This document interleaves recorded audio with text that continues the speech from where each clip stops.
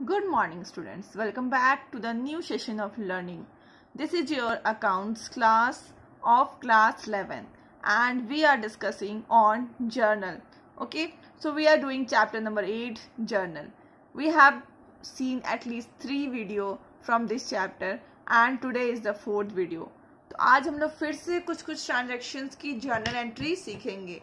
जैसे, सबसे पहले हमने किया था पिछले ट्रांजेक्शन्स में सेल्स से सारे ट्रांजेक्शन्स ठीक है तो मैं अभी एक ट्रांजेक्शन्स लिख रही हूँ आपके सामने। पहला transactions Ashutosh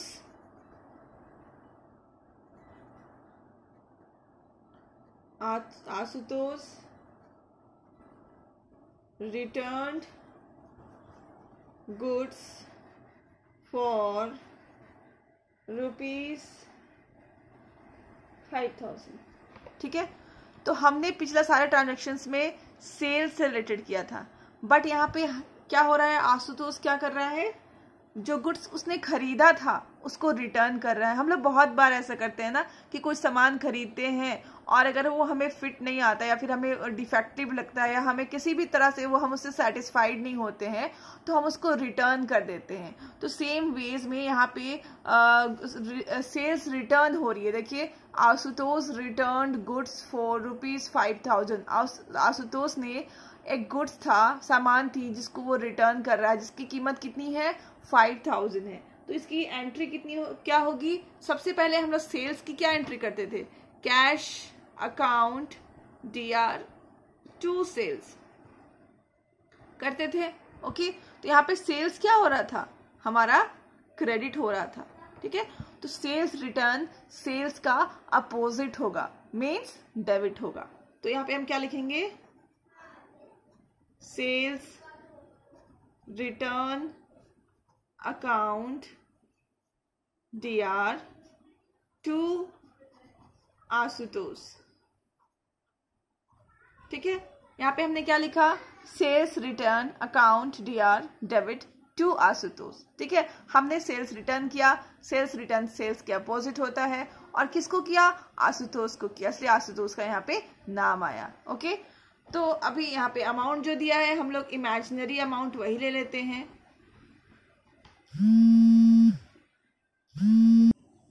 ओके तो यहाँ पे जो हमने सेल्स रिटर्न लिखा है, इसको दूसरा, इसका दूसरा मीनिंग है मतलब इसका दूसरा नाम है रिटर्न इनवर्ड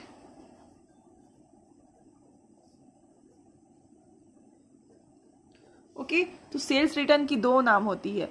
एक तो सेल्स रिटर्न और दूसरा रिटर्न इनवर्ड दोनों का मीनिंग सेम होता है। कभी कभी आपको हमेशा रिटर्न इनवर्ड दे दिया जाता है ताकि आप कंफ्यूज हो जाए। तो बच्चों को याद रखना पड़ता है कि सेल्स रिटर्न और return inward is a same thing तो हम लोग यहाँ पे नरेशन लिखेंगे। Being goods return by Ashutosh this is called narration narration क्या होता है? एक ब्रीफ समरी होता है। जो भी हम लोग ट्रांजेक्शन करते हैं ना, उसके बारे में एक समरी होता है। Okay okay? अब हम टू देखते हैं। ट्रांजेक्शन नंबर टू जिस तरह से हमने सेल किया और उसको रिटर्न किया, इस तरह से हम परचेज भी करेंगे और उसको रिटर्न करेंगे। ठीक है? तो हम लोग आगे देखते हैं। Goods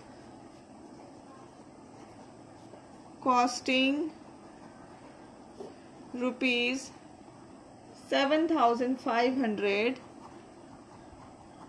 return to Ramesh ठीक है? Goods costing rupees seven thousand five hundred return to Ramesh कोई रमेश नाम का किस, कोई इंसान होगा, कोई होगा, ठीक है? शॉपकीपर होगा जिससे हमने गुड्स खरीदा था बट उसको हमने रिटर्न किया अभी, ठीक है? इसकी एंट्री हो जाएगी सेम वे हमारा परचेज डेबिट होता था तो परचेज रिटर्न क्रेडिट हो जाएगा। ठीक है? तो हमने किसको गुड्स रिटर्न किया? रमेश को। Ramesh account D R to purchase return okay और अमाउंट हम लिख देंगे, जो अमाउंट हम यहाँ पे इमेजिन किए हैं। ठीक है?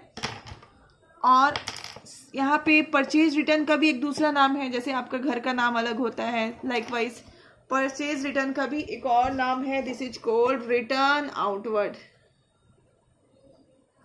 returns outward account okay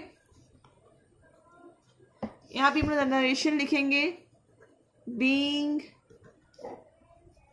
goods return to Ramesh बस आपको स्टार्टिंग में बींग लगाना है और यहाँ पे आप जो भी चाहे लिख सकते हो बट इससे मैच करना चाहिए। ओके यहाँ पे ऐसे भी लिख सकते हैं being seven thousand five hundred goods return okay then entry number third मान लो आपको दी हुई है कि आपने कोई सैलरी पे किया। मान लो दी हुई है salaries paid rupees twenty thousand in cash इसके बदले अगर मान लो सैलरी के बदले अगर दे दे इलेक्ट्रिसिटी एक्सपेंसेस पेड ठीक है, कोई भी आपको एक्सपेंस यहाँ पे दे दे सैलरी दे दे इलेक्ट्रिसिटी दे दे स्टेशनरी आपने खरीदा है पोस्टेज खरीदा है, कोई भी आपको एक्सपेंस दे दे। तो अगर आप देखो कि हमारा जितना भी एक्सपेंस है, वो कहाँ जाता है? नॉमिनल अकाउंट में जाता है। ठीक है, ये जितने भी एक्सपेंसेस है, वो कहाँ जाते हैं? नॉमिनल अकाउंट में जाते हैं। तो क्या होता है उसके नियम? Debit all expenses and losses and credit all income and gains तो हमको क्या करना है? सारे एक्सपेंसेस को या फिर सारे लॉसेस को क्या करना पड़ता है? डेबिट करना पड़ता है। तो हमें सैलरी को क्या करना पड़ेगा? डेबिट करना पड़ेगा। ठीक है? और यहाँ पे सैलरी की जगह अगर इलेक्ट्रिसिटी होता तो उसको भी हम लोग डेबिट करते जितनी भी एक्सपेंसेस आपको मिलेंगी, सबको आपको डेबिट करना है। अगर लॉसेस मिलेगा तो उसको भी डेबिट करना है। और यहाँ पे सैलरी पेड है। अगर ये पेड की जगह में यहाँ पे वर्ड होता है रिसीव्ड इसका मतलब आपको सैलरी मिल रहा है हाथ में, ठीक है? आपके पास सैलरी है तो सैलरी अगर आपको मिलता है तो that is income for you और वो प्रॉफिट सॉरी नॉमिनल अकाउंट में कहा, क्या कहा गया है? कि credit all income and gains आपको क्या करना है? सारे इनकम और गेन्स को क्रेडिट करना है। तो यहाँ पे हम सैलरी को डेबिट नहीं कर रहे होते। क्या कर देते हैं? क्रेडिट कर दिए होते। ओके तो अभी हमारा ये सैलरी पेड लिखा है, इसलिए हम इसको डेबिट कर रहे हैं।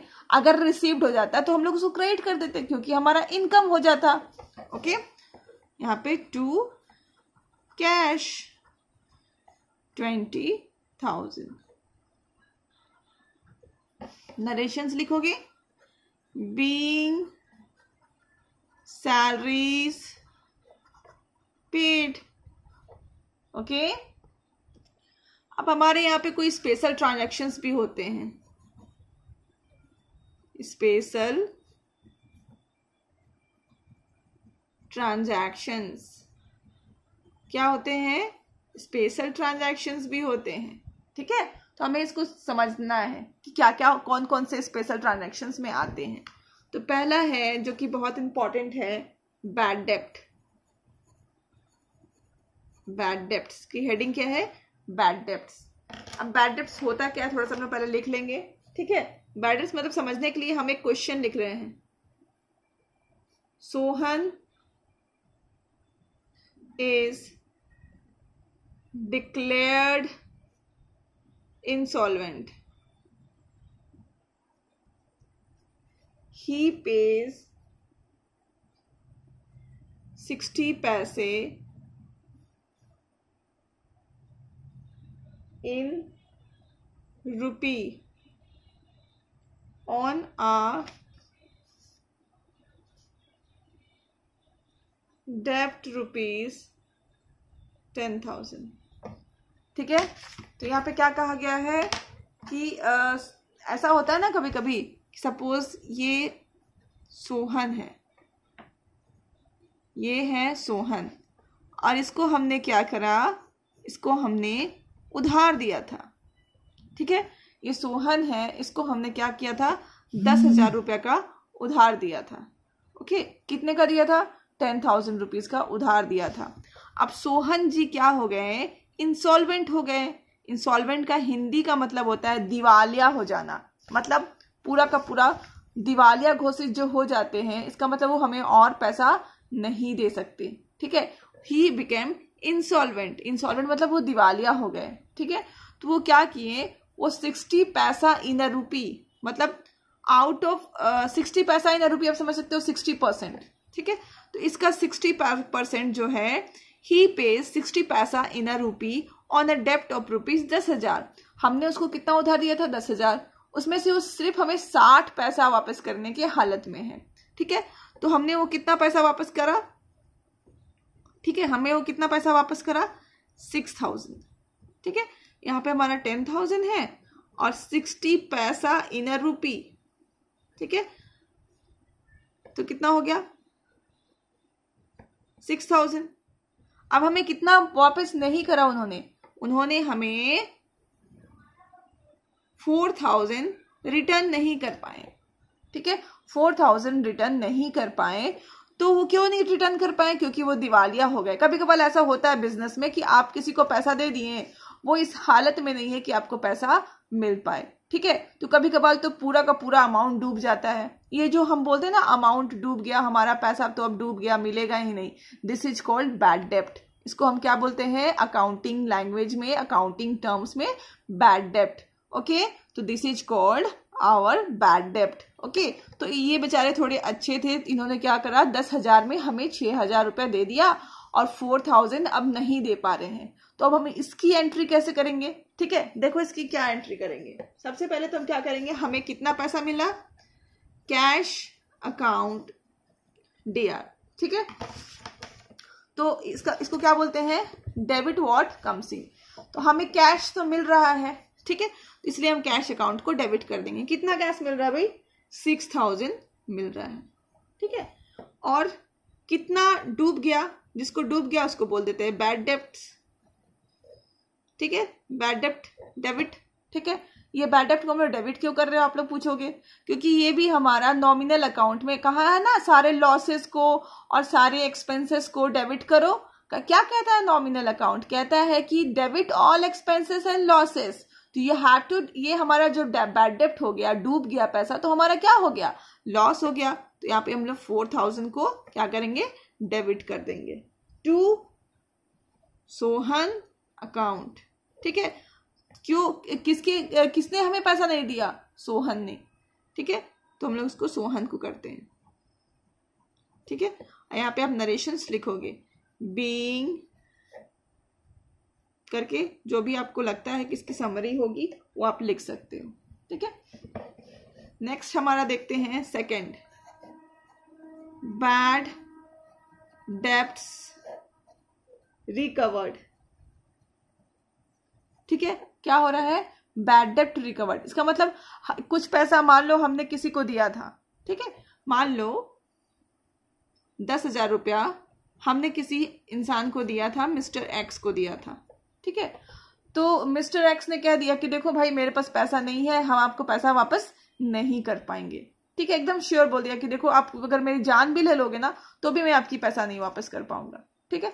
तो हमने भाई अपने बुक्स ऑफ़ अकाउंट्स में लिख दिया, चलो इतना पैसा तो हमारा डूब गया बैड डेप्ट हो गया, हमने लिख दिया, ठीक है? बट हो क्या रहा है? थोड़े दिन बाद ये जो मिस्टर एक्स है, खुद ही आते हैं और हमें पैसा देकर जाते हैं। ये खुद ही आते हैं हमारे पास और हमें पैसा देकर के चले जाते हैं। ओके? तो हमें तो पैसा, हमने सोचा था कि डूब गया पैसा बट वो पैसा तो हमें मिल गया, ठीक है? दिस इज़ कॉल्ड बैड डेप्ट रिकवर्ड। समझे? तो इसको हम लोग एक, एक हम लोग सिचुएशन ले लेते हैं पहले। ठीक है? Received cash for bad debts. Return of last year rupees seven hundred ठीक है? लास्ट ईयर बैड डेप्ट हो गया था seven year seven hundred sorry but अचानक क्या हुआ? वो रिकवर्ड हो गया। उसने हमें ला करके वो सेवन हंड्रेड दे करके चला गया। ठीक है? तो हमें हमें क्या हो गया? अभी तो सेवन हंड्रेड की प्रॉफिट हो गई। ठीक है? तो हमें सबसे पहले क्या मिला? कैश मिला।